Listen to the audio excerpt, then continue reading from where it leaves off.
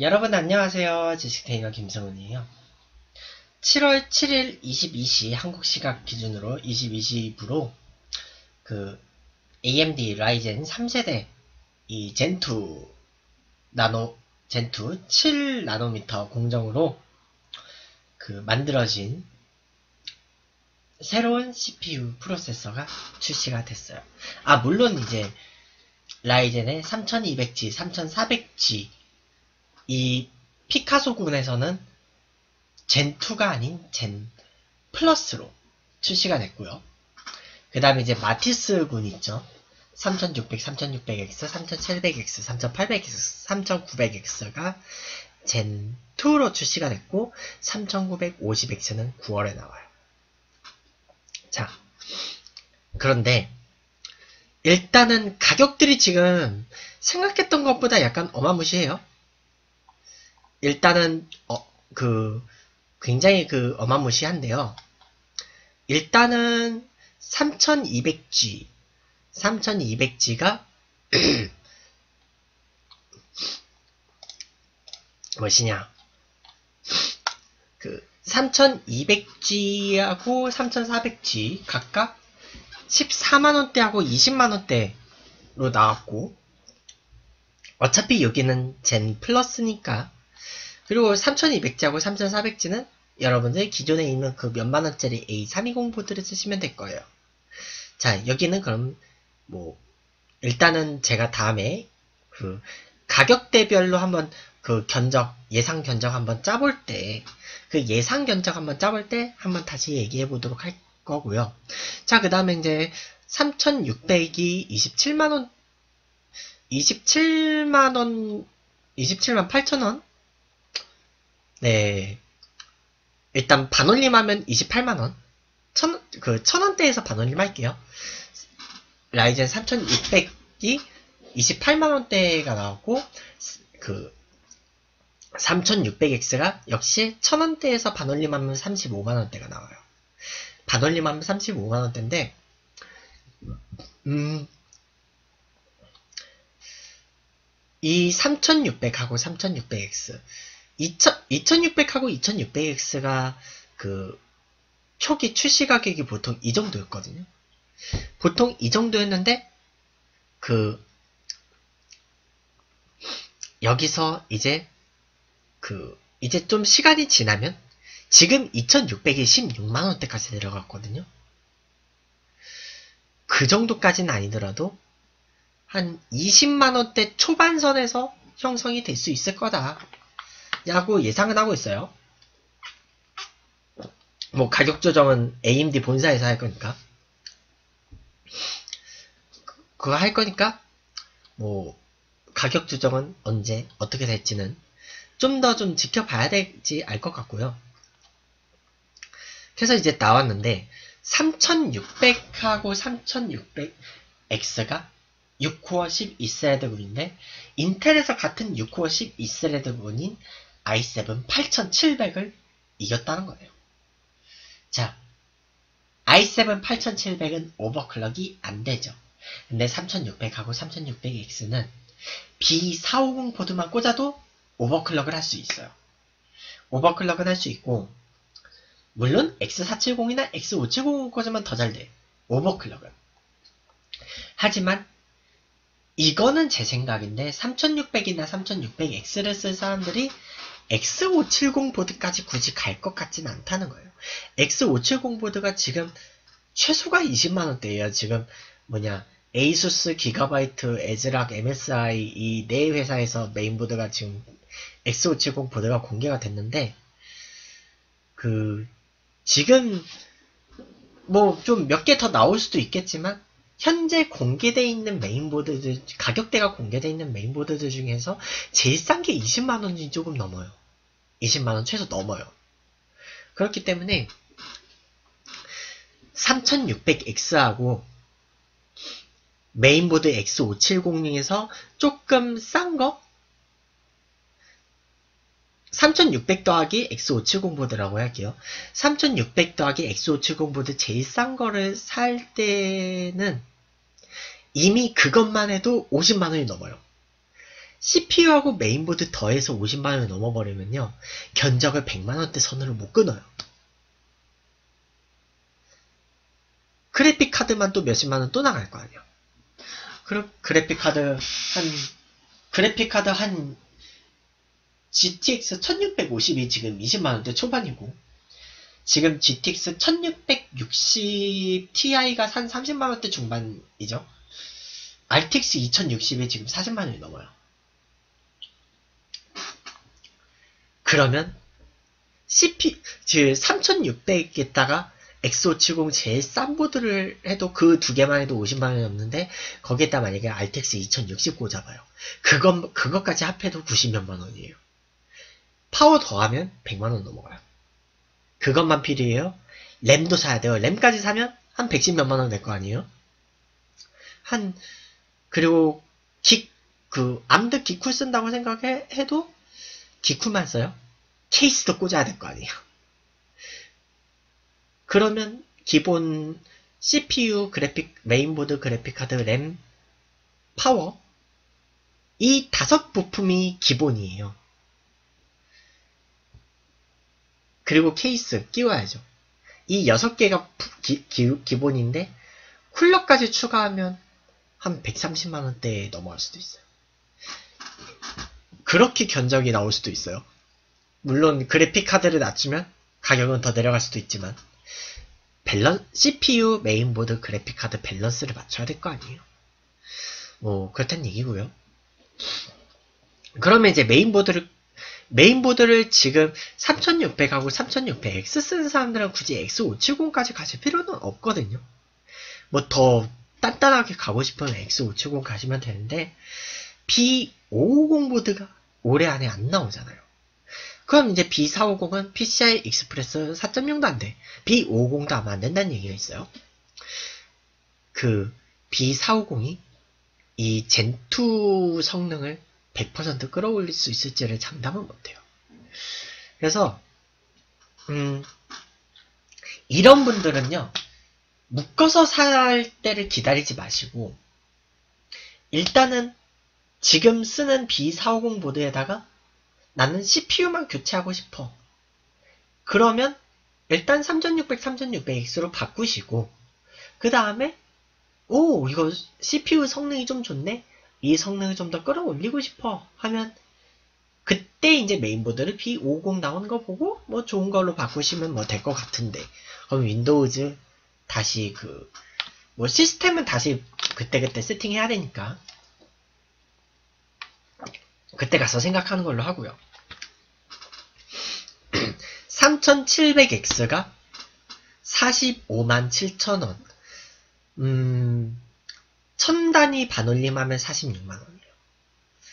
이것도 2700X 초기 가격하고 비슷하다고는 하는데 솔직히 8코어 8스레드 46만원대 물론 i9 9900K는 60만원대가 넘어갔었죠.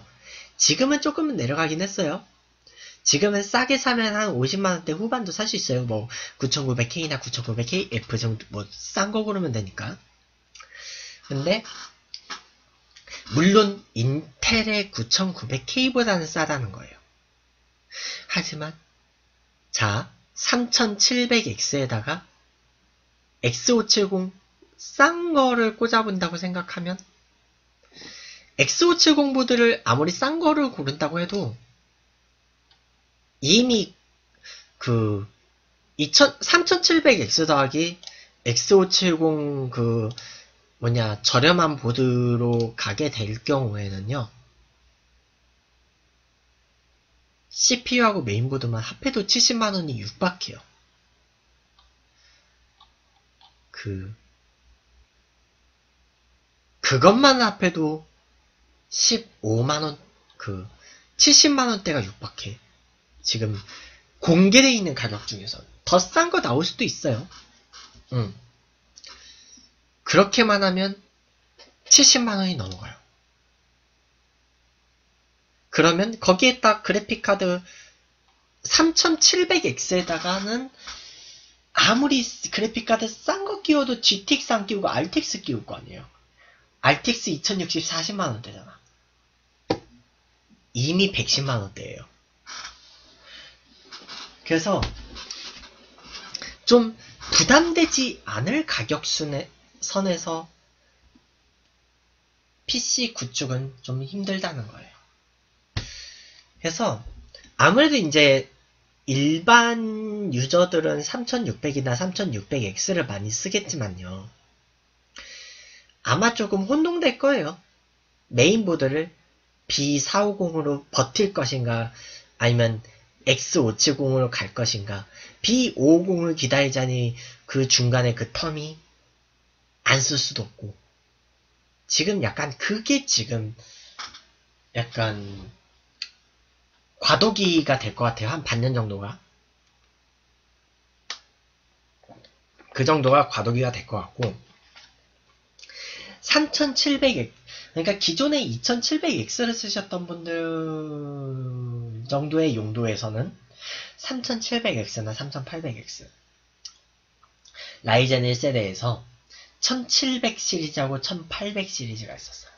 1700 시리즈를 오버클럭을 잘 하면 1800 시리즈까지 따라잡을 수 있다는, 있었어요, 그때는.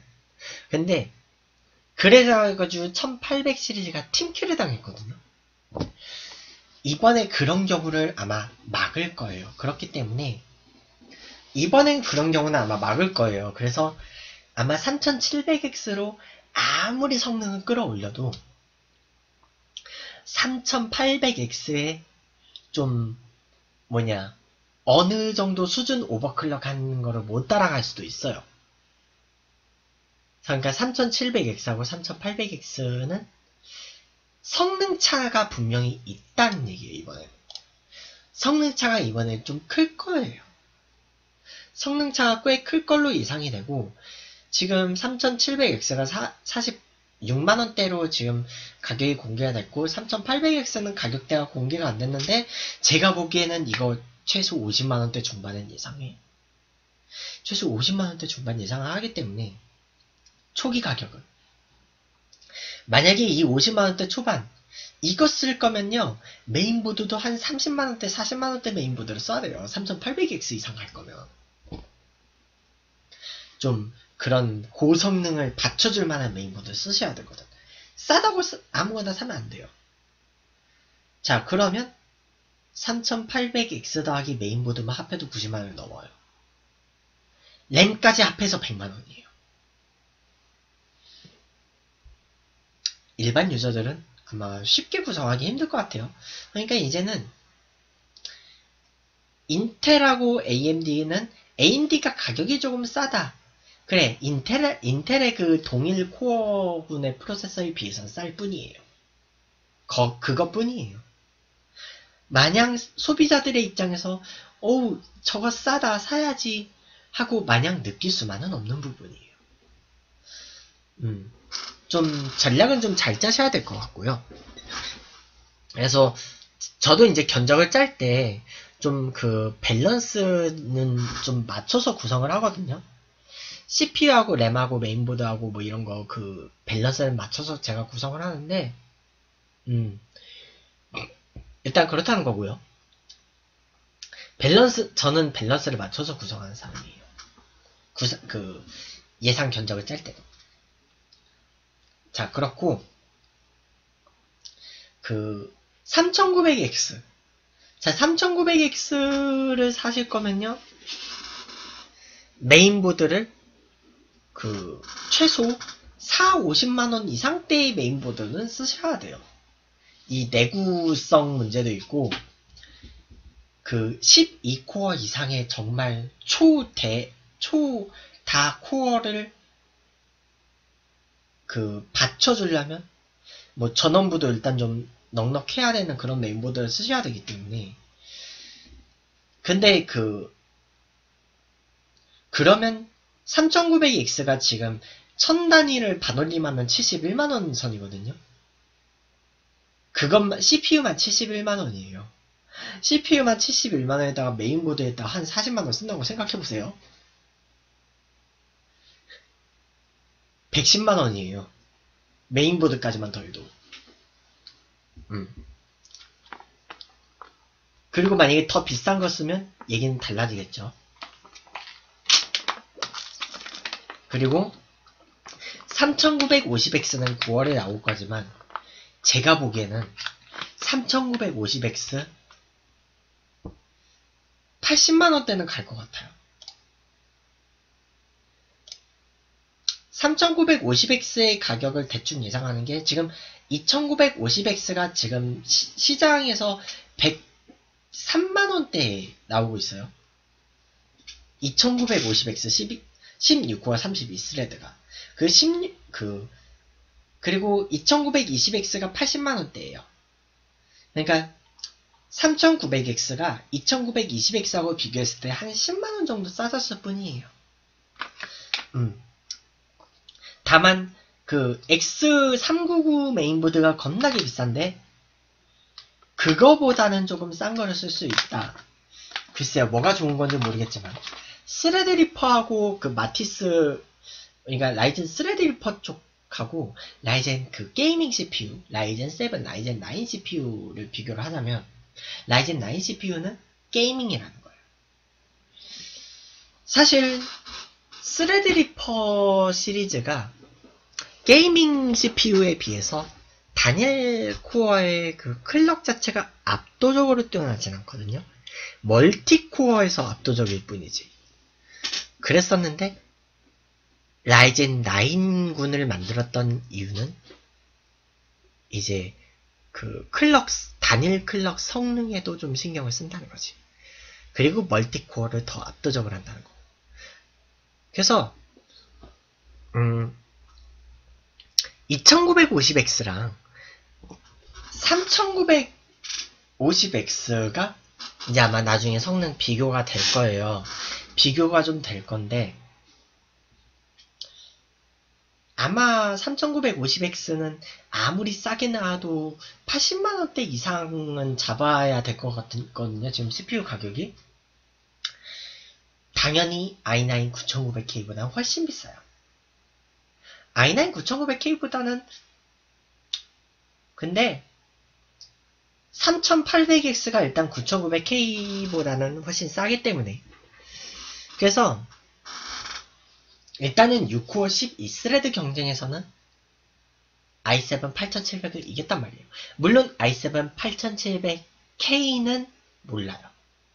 8700K는 메인보드를 어떤 걸 쓰고 쿨러를 어떤 걸 쓰고 램을 어떤 걸 쓰고냐에 따라서 더 윗성능까지 오버클럭이 갈 수도 있으니까 수율이 좋은 거 뽑으면 뭐 그렇단 얘기, 얘기고요.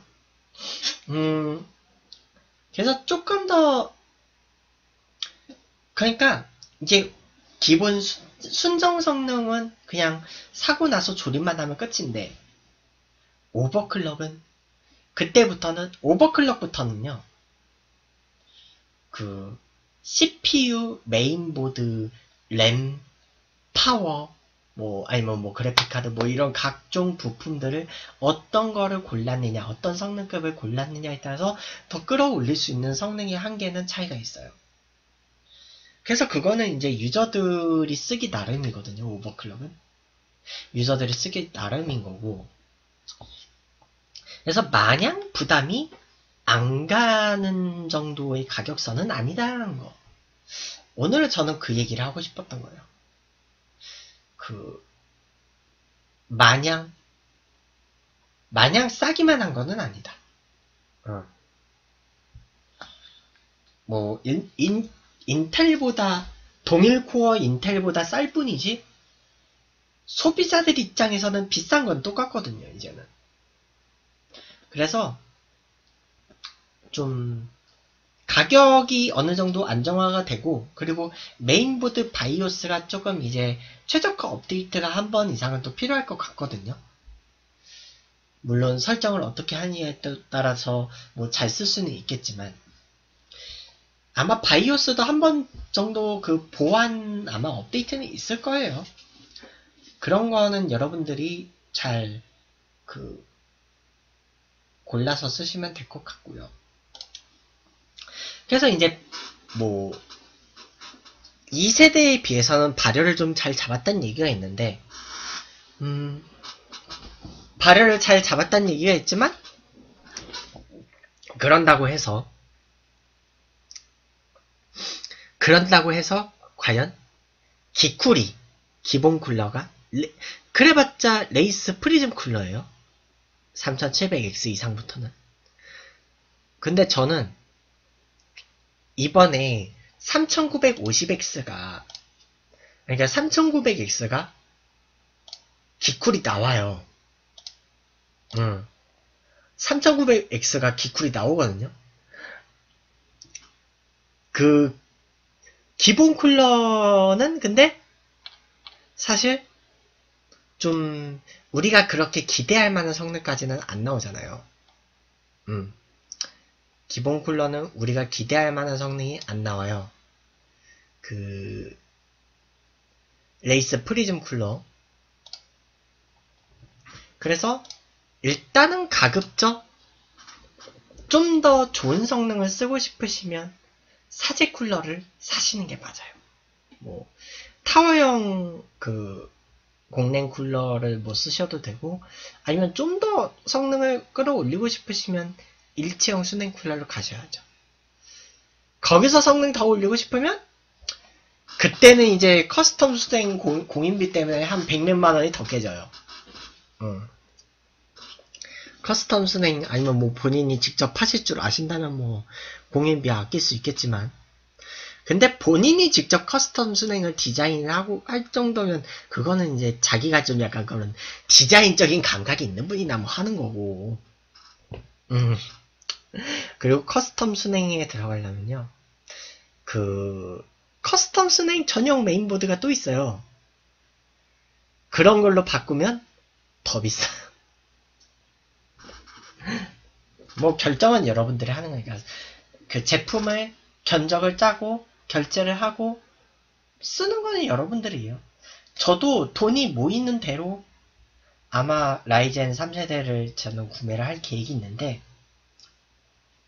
저는 일단은 그 하루에 동영상 한 개 편집하고 그 방송만 하고 그런 사람 정도는 아니기 때문에 저는 방송도 하면서 하루에도 동영상 막 몇 개씩 막 만지는 날도 있고 그리고 렌더링 하는 동안 저는 뭐뭐 스포츠 기사도 써야 되고 뭐 블로그 글도 써야 되고 뭐 여러 가지 다 해야 돼요. 과, 그 다중 작업 다 해야 돼 그냥. 그러니까 정말 멀티 작업해야 돼서. 그래가지고 저는 일단 3600하고 3600X를 살 수가 없는 입장이거든요. 3600하고 3600X를 굳이 사겠다면요. 그, 저는 그거는 이제 방송용 PC밖에 못 써요. 다른 작업용 PC를 또 사야 돼요. 투컴을 가야 돼요. 그렇기 때문에, 음, 그렇기 때문에 저는 좀 더 기다려 봐야 될것 같아요. 9월에 3900X가 나올 때까지 한번 좀 더 상황을 좀 저는 기다려봐야 되는 상황이기 때문에 저는 이번 여름은 그냥 버티는 수밖에 없어요. 여름엔 그냥 버텨야 돼요. 그리고 그 버티기 위해서는 열심히 돈을 모아서 또 이제 올해 가을부터 드래곤볼을 모으기 시작해서 빠르면 아마 올해 겨울에 아마 구성을 하지 않을까 싶어요. 드래곤볼 모으는 시간이 굉장히 오래 걸릴 거예요. 저는 일단 그럴 것 같아요. 자, 그러면 오늘 방송 마무리 때 오늘 제가 그런 좀 뭐냐 그 좀 나온 새로 나온 그 CPU 젠2에 대한 그 생각을 한번 남겨봤고요. 자, 그러면 그 아직은 제가 가격대별 견적을 안 짜고 있어요. 왜냐면 일단은 RTX 2060 슈퍼하고 RTX 2070 슈퍼가 곧 나오기 때문에 제가 그것 때문에 아직은 견적을 안 짜고 있거든요. 그것까지 나오면 제가 가격대를 한번 포함시켜서 한번 그 밸런스를 한번 맞춘 게 대충 어느 정도 가격선이 나가는지만 한번 여러분들한테 알려드리는 저는 그런 정보를 그 제가 수시로 알려드리니까 그러면 여러분 다음 방송 사심 역사에서 만날게요. 자, 그럼 여러분 안녕.